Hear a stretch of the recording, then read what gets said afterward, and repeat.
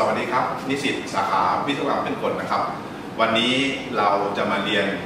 ปฏิบัติการวิศวกรรมเครื่องกล2นะครับหรือ Mechanical Engineering Laboratory 2นะครับสำหรับปฏิบัติการนะครับที่เราจะเรียนวันนี้ก็คือ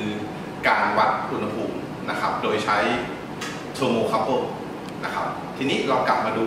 หลักการเบื้องต้นของการวัดอุณหภูมิก่อนนะครับ โดยปกติทั่วไปเนี่ยการวัดอุณหภูมิเนี่ยนะครับ จะมี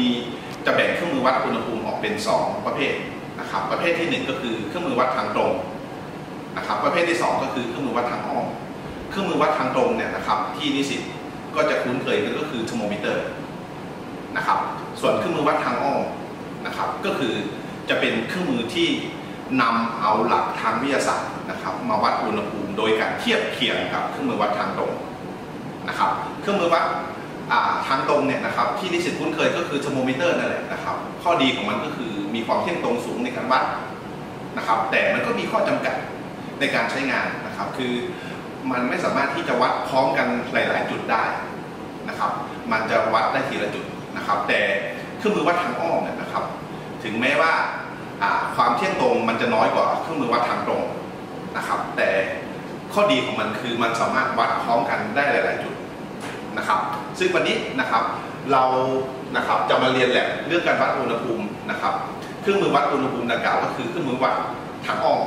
นะครับ เครื่องมือวัดทางอ้อมก็คือ วันนี้ก็คือเรื่อง thermocouple นะครับ เราจะรู้จักเครื่องมือวัดนะครับ thermocouple นะครับแล้วรู้จักปรากฏการณ์ของ thermocouple ซึ่งเราจะเรียกว่า Seebeck effect นะครับอะเรามาดูหลักการก่อนนะครับว่า thermocouple เป็นยังไงนะครับ thermocouple เนี่ยนะครับ บังเอิญว่านักวิทยาศาสตร์ชาวเยอรมันคนนึงชื่อ Thomas Seebeck นะครับเขาได้ทดลองโดยการเอาโลหะสองชนิดนะครับซึ่งทำด้วยด้วยวัสดุที่แตกต่างกันนะครับมาเชื่อมต่อปลายสายทั้งสองด้านนะครับมาเชื่อมต่อปลายสายทั้งสองด้านนะครับ จุดที่เชื่อมต่อเราจะเรียกว่าจังชันนะครับจุดเชื่อมต่อเราจะเรียกว่าจังชันนะครับซึ่งวัตถุสองชนิดเนี่ยนะครับทำด้วยวัสดุที่แตกต่างกันนะครับ ผมจะแยกเป็นข้อบวกกับข้อลบนะครับ ทีนี้พอเรามาเชื่อมต่อปลายสายทั้งสองด้านเรียบร้อยแล้วนะครับ พอเชื่อมต่อปลายสายปลายสายเสร็จแล้วเนี่ยนะครับทำให้อุณหภูมิของจังชันทั้งสองด้านเนี่ยแตกต่างกันนะครับ มันจะเกิดกระแสไฟฟ้าวิ่งอยู่ในวงจรเส้นลวดนี้นะครับ โดยธรรมชาตินะครับ นี่แหละเขาเรียกว่าปรากฏการณ์นะครับของ Seebeck นะครับ หรือเราจะเรียกว่า Seebeck effect นะครับ ซึ่ง ถามว่าเป็นยังไงนะครับอ่ะพอเราทำให้ junction ทั้งสองด้านนะครับ หรือจุดต่อทั้งสองด้านเนี่ยมีอุณหภูมิแตกต่างกันแล้วนะครับ แล้วก็จะเกิดกระแสไฟฟ้าวิ่งอยู่ในวงจรเส้นลวดนะครับ ทีนี้เราจะวัดอุณหภูมิได้ยังไงนะครับ เราก็ต้องกำหนดจังชันหรือจุดต่อด้านนึงนะครับ ให้มีอุณหภูมิเท่ากับ0องศาเซลเซียสนะครับ ซึ่งเราจะเรียกจังชันด้านที่มีอุณหภูมิเท่ากับ0องศาเซลเซียสนี้ว่า reference junction นะครับ ส่วนจังชันที่เราเอาไปวัดอุณหภูมิของวัสดุหรือวัตถุที่เราต้องการวัดอุณหภูมิ เราจะเรียกว่า measuring junction นะครับ ทีนี้นะครับ มันแตกต่างกันยังไงนะครับ พอ reference junction เนี่ยถูกควบคุมให้มีอุณหภูมิเท่ากับ0องศาเซลเซียสนะครับ ส่วน measuring junction ก็จะวัดตามอุณหภูมิของวัสดุหรือวัตถุนะครับ มันก็จะมีค่าที่แตกต่างกันแล้วนะครับ ยกตัวอย่างเช่นนะครับ เราวัดอุณหภูมิน้ำร้อน ที่ทำให้น้ำเดือดร้อยที่ทำให้น้ำเดือดเนี่ยนะครับอุณหภูมิเท่ากับร้อยองศาเซลเซียสนะครับด้าน measuring junction ก็วัดอุณหภูมิ 100 องศาเซลเซียสนะครับส่วน reference junction ก็จะถูกควบคุมให้เท่ากับ 0 องศาเซลเซียสมันจึงมีอุณหภูมิแตกต่างกัน แล้วก็จะเกิดกระแสไฟฟ้าวิ่งอยู่ในวงจรเส้นลวดในหนึ่งทางนะครับเราก็จะเอาหลักการตัวนี้เทียบเคียงกับเครื่องมือวัดทางตรง ว่ากระแสไฟฟ้านะครับที่วิ่งอยู่ในวงจรเส้นลวดหนึ่งข้างนี้นะครับ เทียบเคียงเป็นอุณหภูมิกี่องศานะครับ ซึ่งอุณหภูมิที่เราวัดตรงนี้นะครับร้อยลบศูนย์ก็คืออุณหภูมิ 100 องศาเซลเซียสโอเคนะครับ นี่คือหลักการของ thermocouple นะครับ แล้วก็ปรากฏการณ์ของปรากฏการณ์ของ Seebeck หรือ Seebeck effect นะครับต่อไปนี้เราก็จะทดลองดูว่านะครับ เราจะทดลองดูนะครับ ปรากฏการณ์ของซีเบกนะครับ มันเป็นไปตามที่ผมพูดหรือเปล่านะครับ ต้องดูนะ มันจะเกิดปรากฏการณ์นะครับของซีเบตได้เนะจังชันทั้งสองด้านต้องมีอุณหภูมิแตกต่างกัน ถ้าเกิดจังชันทั้งสองด้าน อุณหภูมิไม่แตกต่างกัน มันก็จะไม่เกิดปรากฏการณ์หรือมันจะไม่มีกระแสไฟฟ้าวิ่งอยู่ในวงจรเส้นลวดอะต่อไปเราจะไปทดลองกันครับสำหรับ thermocouple นะครับที่นิยมใช้ในทางอุตสาหกรรมนะครับ ที่เราจะ ทดลองนะครับแลบในเรื่องของ thermocouple นะครับการวัดอุณหภูมิด้วย thermocouple แล้วก็ดูนะครับปรากฏการณ์ของ Seebeck นะครับ thermocouple เนี่ยนะครับโดยปกติทั่วไปเนี่ยเราจะเรียกว่าเป็น type หรือเป็นแบบนะครับมันก็จะมีหลายแบบหลาย type ถามว่า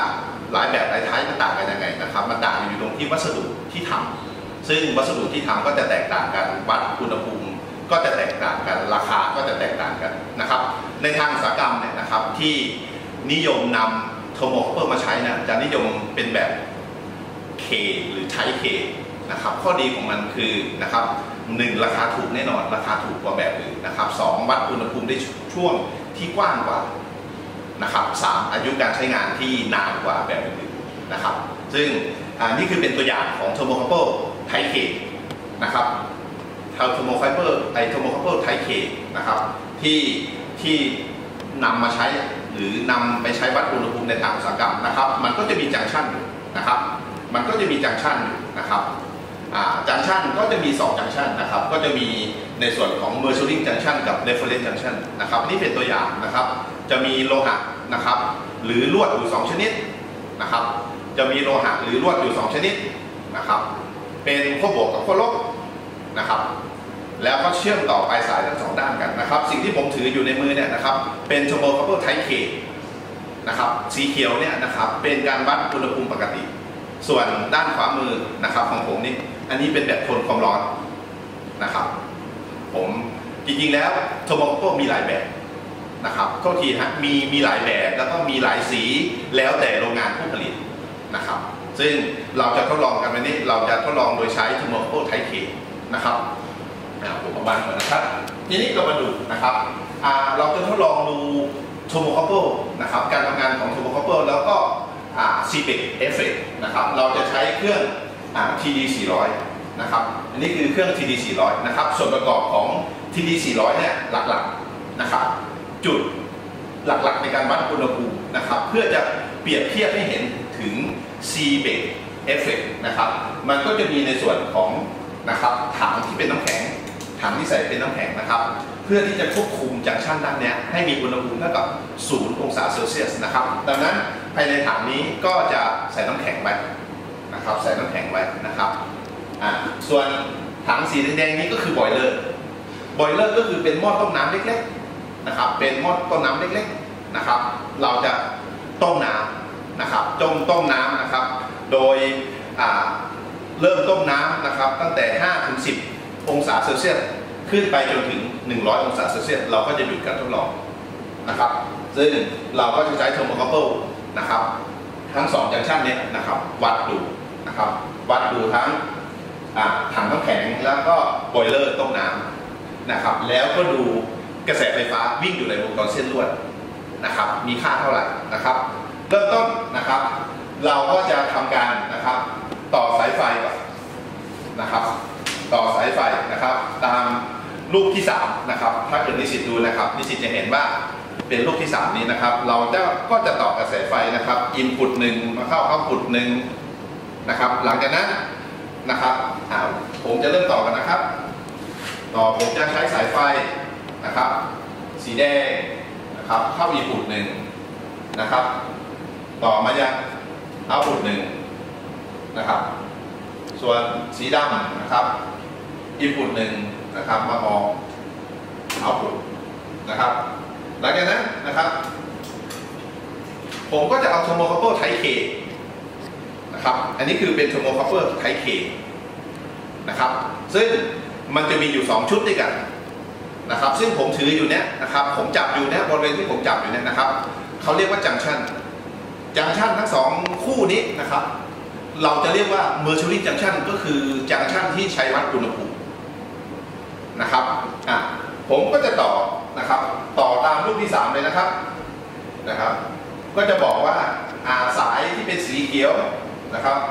สายที่เป็นสีเขียวก็จะเสียบเข้ารูตรงนี้นะครับ อีกเส้นนึงนะครับ ก็เสียบตามรูปเลยนะครับ สีเขียวนะครับ ผมก็จะเสียบเข้ามานะครับ ซึ่งสายสีเขียวนี่ก็คือเป็นขั้วบวกนะครับ ส่วนสายสีขาวนะครับ ก็จะเสียบเข้ารูข้างล่างนี้ตามรูนะครับ แล้วก็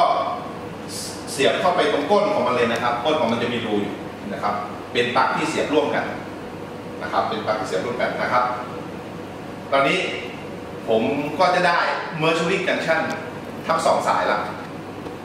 โทษทีทั้งสองจังชันละนะครับ อันนี้ผมวางไว้ก่อนนะครับ ทีนี้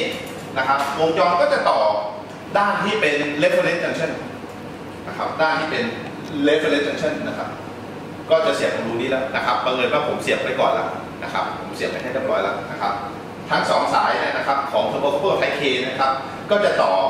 นะครับออกมายังนะครับรวมออกมายังสายสีดำเส้นนี้ ซึ่ง ที่ผมชี้อยู่เนี่ยเขาเรียกว่า reference junction หรือจังชันที่ควบคุมอุณหภูมิให้มีค่าเท่ากับ0องศาเซลเซียสนะครับโอเคนะครับตอนนี้ผมต่อตามรูปที่3เรียบร้อยแล้วนะครับนะครับ ต่อมานะครับก็จะทำตามคำสั่งเลยนะครับอ่าผมก็จะเตรียมถังฮีเตอร์หรือถังบอยเลอร์นะครับ ก่อนที่จะเตรียมถังฮีเตอร์กับถังบอยเลอร์เนี่ยนะครับ เนื่องจากว่าเราต้องใช้กระแสไฟฟ้ามาต้มน้ำนะครับ เราก็จะทำการปิดสวิตช์ถอดไฟให้เรียบร้อยก่อนนะครับ ป้องกันนะครับเกิดการช็อตของไฟฟ้านะครับ ทีนี้ผมก็จะปิดวาล์วน้ำนะครับ วาล์วน้ำก็อยู่ด้านล่างเนี่ยนะครับนี่สิครับจะอยู่ด้านล่างของถังเนี่ยนะครับ ปิดให้เรียบร้อยเวลาผมเติมน้ำเข้าไปแล้วน้ำน้ำจะไม่ไหลออกข้างนอกนะครับ เราจะเปิดวาล์วก็ต่อเมื่อเราทดลองเสร็จแล้วเราปล่อยน้ำทิ้งไป นะครับ อันนี้คือเราจะทดลองเสร็จ ซึ่งน้ำระดับตัวนี้เราจะเอาไปต้มน้ำนะครับ เพื่อจะวัดอุณหภูมิทางด้าน mercury junction นนะครับ ตอนนี้ผมปิดวาล์วที่อยู่ด้านหลังเรียบร้อยแล้วนะครับอะผมปิดเรียบร้อยแล้วนะครับ ผมก็จะเปิดฝานะครับ ผมก็จะเปิดฝานะครับ แล้วผมนะครับ ก็จะใช้วิธีการเติมน้ำเข้าไปนะครับ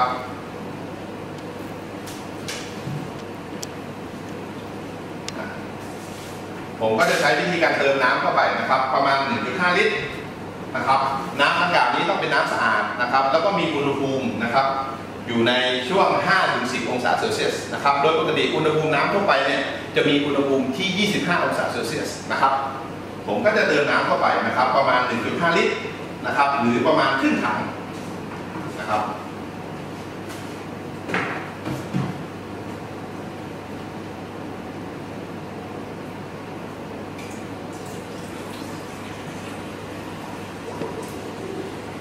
ตอนนี้ผมกำลังเติมน้ำเข้าไปนะครับ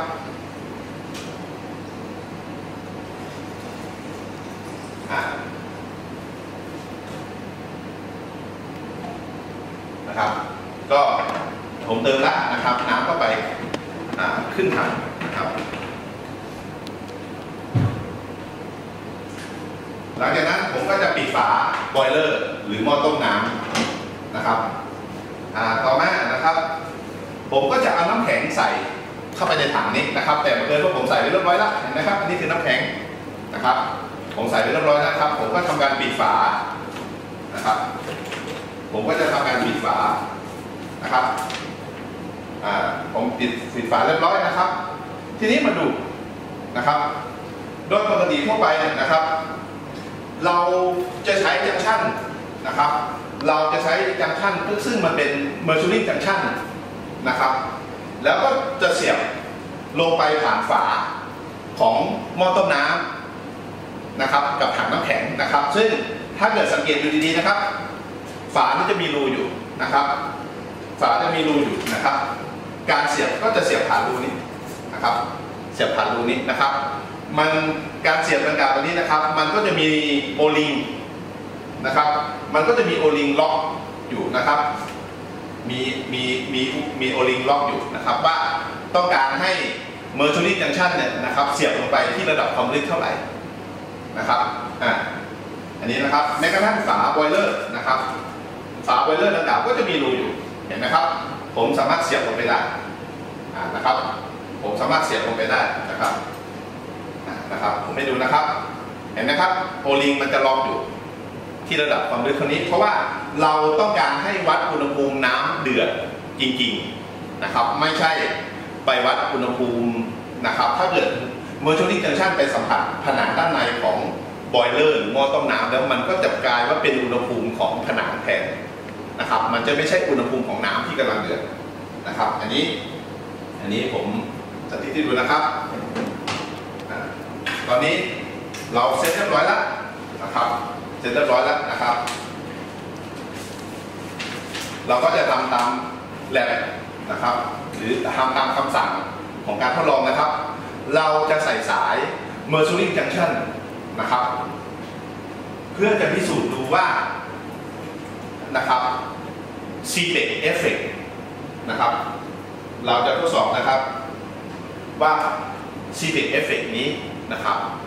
ถ้าเกิดว่า จังชันทั้งสองด้านนะครับก็คือ Mercury Junction กับ Reference Junction เนี่ยนะครับถ้าเกิดว่าเราเอาใส่ไว้แหล่งอุณหภูมิเดียวกันทำให้อุณหภูมิไม่แตกต่างกัน จะเกิดกระแสไฟฟ้าวิ่งอยู่ในวงจรเส้นลวดไหมนะครับผมก็จะทำการเสียบนะครับ เสียบนะครับ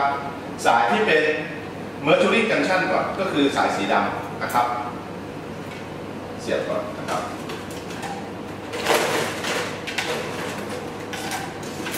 อืมครับ ผมก็จะทำการเสียบลงไปก่อนนะครับผมเสียบแล้วนะครับ หลังจากนั้นผมจะเอาอ่านะครับ ตอนนี้ผมใช้นะครับจังชันด้าน reference junction หรือด้านอ้างอิงเสียบไปเรียบร้อยแล้วนะครับ ผมก็จะใช้นะครับจังชันนะครับ ทางด้าน mercury junction เสียบลงไป ที่แหล่งอุณหภูมิเดียวกันนะครับ ตอนนี้ผมเสียบลงไปแหล่งอุณหภูมิเดียวกันก็คือศูนย์องศานะครับ ที่เราใช้น้ำแข็งเป็นตัวเป็นตัวกำหนดอุณหภูมิเท่ากับศูนย์องศานะครับอะตอนนี้ผมเสียบเรียบร้อยแล้วนะครับ หลังจากนั้นนะครับอ่า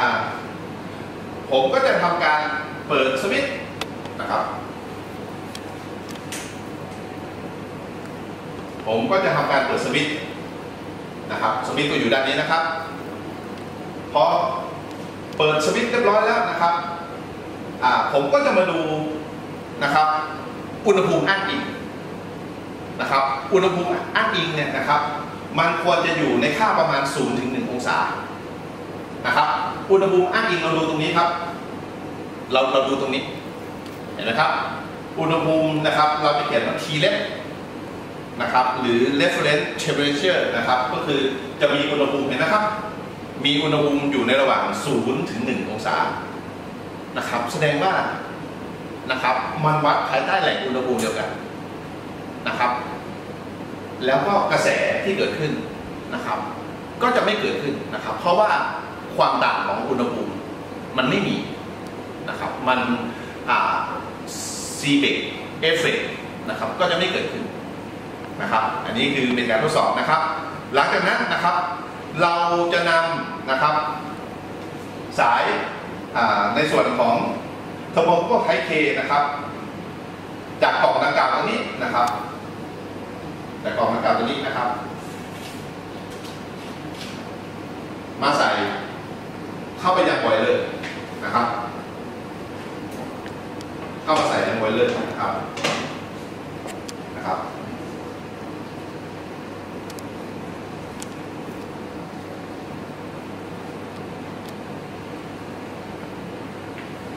ดู ต่อนะครับ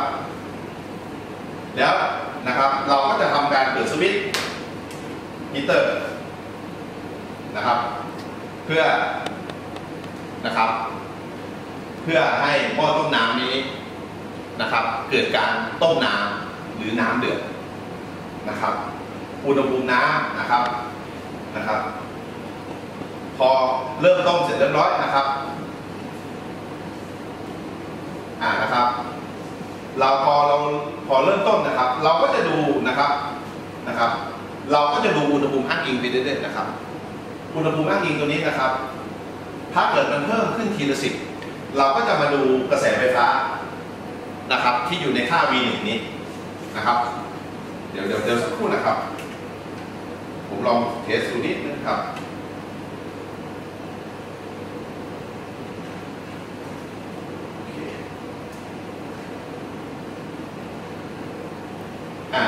นะครับ ตอนนี้นะครับผมก็จะเอาในส่วนของ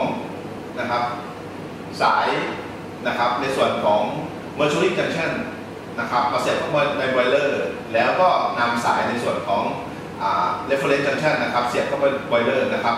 มันจะทำให้นะครับอุณหภูมิแตกต่างกันนะครับนี่คืออุณหภูมิที่เป็นน้ำแข็ง อันนี้ที่เป็นอุณหภูมินะครับของการต้มน้ำนะครับ แล้วเราก็ดูอุณหภูมิด้วยนะครับ อุณหภูมิทีเล็กเนี่ยนะครับ อุณหภูมิทีเล็กเนี่ยนะครับ ถ้าเกิดว่ามันเพิ่มขึ้นทีละสิบองศานะครับ เราก็จะอ่านค่ากระแสไฟฟ้านะครับ จาก V1 นี้นะครับ มีค่าเท่ากับเท่าไหร่นะครับ หลังจากเราดูดูกระแสไฟฟ้านะครับ จากช่อง V1 เรียบร้อยแล้วนะครับ เราก็มาบันทึกลงในตารางนะครับ เราก็จะมาเราก็จะมาบันทึกลงในตารางที่1นะครับตารางช่องแรกนะครับ ช่องที่1นะครับ ก็เป็นช่องของอุณหภูมิอ้างอิงนะครับอุณหภูมิเท่ากับเท่าไหร่สมมติตอนนี้อุณหภูมิ 30 องศานะครับ เราก็บันทึกลงในคอลัมน์ที่ 1 หลังจากนั้นคอลัมน์ที่ 2 เราก็มาดูกระแสไฟฟ้าที่ V1 นี้ว่ามีกระแสไฟฟ้านะครับ กี่ มิลลิโวลต์หน่วยเป็นมิลลิโวลต์นะครับ หลังจากนั้นนะครับคอลัมน์ที่3นะครับเราก็จะเอา 20 หารคอลัมน์ที่ 2 เพื่อที่จะแปลงหน่วยมิลลิโวลต์ให้เป็นไมโครโวลต์นะครับคอลัมน์ที่ 3 เป็นไมโครโวลต์นะครับอ่านะครับ หลังจากนั้นนะครับ เราก็จะมาดูนะครับ ในส่วนของกระแสไฟฟ้า standard หรือกระแสไฟฟ้าอ้างอิงนะครับ ว่า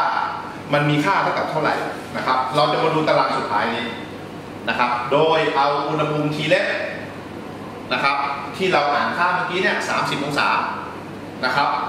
แล้วก็มาดูคอลัมน์นี้ว่า 30 องศาเนี่ยมีกระแสไฟฟ้ากี่ไมโครโวลต์นะครับ พอเราทราบไมโครโวลต์เสร็จเรียบร้อยนะครับว่ากระแสไฟฟ้ามาตรฐานเนี่ยนะครับที่ 30 องศาเนี่ยนะครับ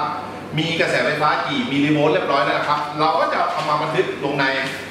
คอลัมน์ที่4นะครับ ตอนนี้นะครับคอลัมน์ที่ 3 กับคอลัมน์ที่ 4 ซึ่งคอลัมน์ที่ 3 ก็คือกระแสไฟฟ้าที่เราวัดได้จากการทดลอง ส่วนคอลัมน์ที่ 4 ก็คือกระแสไฟฟ้ามาตรฐานนะครับว่ามีค่าค่ากี่ไมโครโวลต์นะครับ เราก็จะทำการเปรียบเทียบกันนะครับ ส่วนคอลัมน์ที่ 5 ก็คือคำนวณหาค่าการเบี่ยงเบนนะครับว่า กระแสไฟฟ้าที่เราวัดได้จากการทดลองนี้กับกระแสไฟฟ้ามาตรฐานเนี่ยมันมีความมีมันมีความเบี่ยงเบี่ยงเบนนะครับเท่าไหร่นะครับคำนวณตามสูตรที่อยู่ข้างล่างนะครับ หลังจากนั้นนะครับคอลัมน์ที่ 6 เราก็จะคำนวณหาเปอร์เซ็นต์ความผิดพลาดว่ากระแสไฟฟ้าที่เราวัดนะครับ จากการทดลอง เมื่อเปรียบเทียบกับกระแสกระแสไฟฟ้ามาตรฐาน นะครับ มันมีความผิดพลาดหรือมันมีความต่างกันกี่เปอร์เซ็นต์เห็นไหมครับอ่าเราก็จะทำการวัดไปเรื่อยๆนะครับ โดยดูที่อุณหภูมิ t เล็กเพิ่มขึ้นทีละสิบองศาเซลเซียสนะครับ เราก็จะอ่านกระแสไฟฟ้านะครับที่ช่อง V1 หน่วยเป็นมิลลิโวลต์เห็นไหมครับหน่วยเป็นมิลลิโวลต์แล้วก็นะครับเอามาบันทึกค่าแล้วก็คำนวณให้ แปลงให้เป็นไมโครโวลต์นะครับ แล้วก็ไปเปิดกระแสไฟฟ้า standard หรือมาตรฐานเทียบกันนะครับไปเรื่อยๆนะครับ โดยอุณหภูมิดูอุณหภูมิ t เล็กนะครับ เห็นไหมมันจะสูงขึ้นเรื่อยๆ ตอนนี้ 42 องศาแล้วนะครับ เราจะหยุดการทดลองก็ต่อเมื่อนะครับ อุณหภูมิสูงขึ้น 100 องศาเซลเซียสก็คืออุณหภูมิที่ทำให้น้ำเดือดนะครับ ตอนนี้น้ำเป็นน้ำ ที่มีสถานะเป็นของเหลวและมีอุณหภูมิสูงขึ้นเรื่อยๆนะครับในทาง thermodynamics เนี่ยเราจะเรียกว่า compressed liquid ใช่ไหมครับ พออุณหภูมิมันสูงขึ้นเรื่อยๆนะครับภายใต้ความดันบรรยากาศน้ำก็จะเริ่มเดือดกลายเป็นไอที่อุณหภูมิ 100 องศาเซลเซียสซึ่งเราจะเรียกน้ำในสถานะดังกล่าวว่า saturated liquid เห็นไหมครับ พออุณหภูมิทีเล็ก หรืออุณหภูมิอ้างอิงจนถึง 100 องศาเซลเซียสเรียบร้อยแล้วนะครับ เราก็จะหยุดการทดลองนะครับ โดยการปิดฮีเตอร์ของบอยเลอร์นะครับผมปิดเรียบร้อยแล้วนะครับปิดนะครับ หลังจากนั้น ผมก็จะปิดสวิตช์ไฟนะครับ พอปิดสวิตช์ไฟนะครับ ทุกอย่างก็จบการทดลองนะครับ พอจบการทดลองเสร็จเรียบร้อยนะครับ นิสิตก็จะมีข้อมูลการทดลอง นะครับ ในช่วงของอุณหภูมิที่เพิ่มขึ้นทีละ 10 องศา 10 องศานะครับ แต่สูงสุดก็ไม่เกิน 100 องศาเซลเซียสนะครับ แล้วนิสิตก็วิเคราะห์ข้อมูลนะครับ แล้วก็พอวิเคราะห์ข้อมูลเสร็จเรียบร้อยนิสิตก็มาตอบคำถามนะครับ ที่อยู่ด้านหลังด้วยนะครับ ว่าประกอบด้วยนะครับว่าทำไมนะครับ ใช้ thermocouple type Kทั้งสองสาย นะครับจุ่มลงในกล่องน้ำแข็ง ที่มีอุณหภูมิเท่ากันแล้วนะครับทำไมอุณหภูมิจึงมีค่า หรืออุณหภูมิอ้างอิงมีค่า0ถึง1องศานะครับก็คือมันไม่เป็นไปตามหลักการหรือไม่มันไม่เป็นไปตามอ่า c b e c effect นะครับหลังจากนั้นนะครับให้นิสิตพอดกราฟนะครับเปรียบเทียบกระแสที่เราวัดได้จากการทดลอง เปรียบเทียบกับกระแสไฟฟ้า มาตรฐานหรือ standard ที่อยู่ตารางท้ายชีตการทดลองนี้นะครับพอดกราฟเปรียบเทียบกันนะครับ แล้วแล้วนิสิตก็จะได้เห็นความแตกต่างกัน ว่ามีความผิดพลาดมากน้อยเท่าไหร่นะครับอะสำหรับแลบการวัดอุณหภูมิโดยใช้นะครับ thermocouple นะครับ วันนี้ก็จบเพียงแค่นี้ครับ สวัสดีครับ